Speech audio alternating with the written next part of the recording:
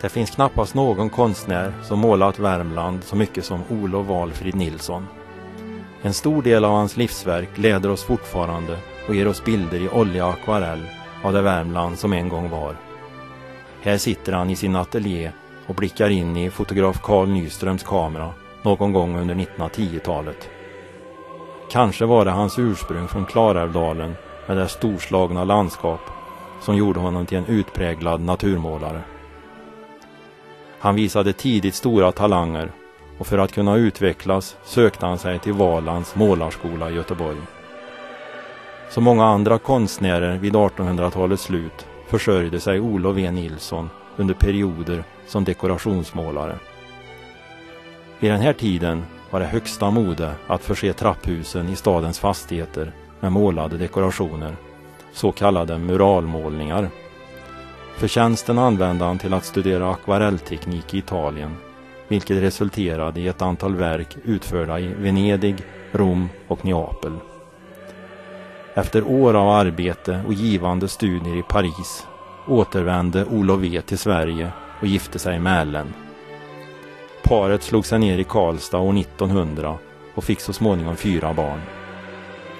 När det så kallade centralpalatset i Haga skulle dekoreras i trappuppgångarna fick han inspiration från sina resor utomlands. Här, på de olika våningsplanen, har han utfört panoramamålningar med italienska motiv som till exempel Neapelbukten med Vesuvius i bakgrunden. När Värmlandsbanken byggdes 1908 utförde Olof V Nilsson i styrelserummet en välvd målning med motiv över Klarälven, gamla bankbyggnaden och kvarteret Almen. Även privat anlitades han av bankdirektör Axel Sandvall för att dekorera en mur utanför villan i Klara.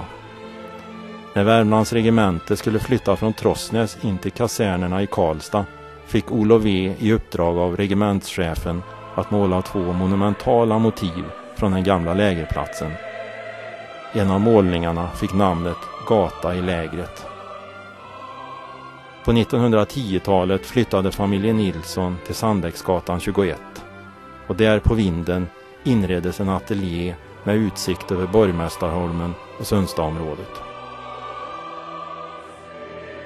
Härifrån kunde han studera årets växlingar och hit kunde han alltid återvända från resor i Lappland eller Bohuslän med skissblocket fullt med utkast och idéer. Det var här i ateljén Olof E Nilsson trollade fram sina vackra vinter och sommarlandskap med Lapporten i Abisko eller någon hytta i Bergslagen.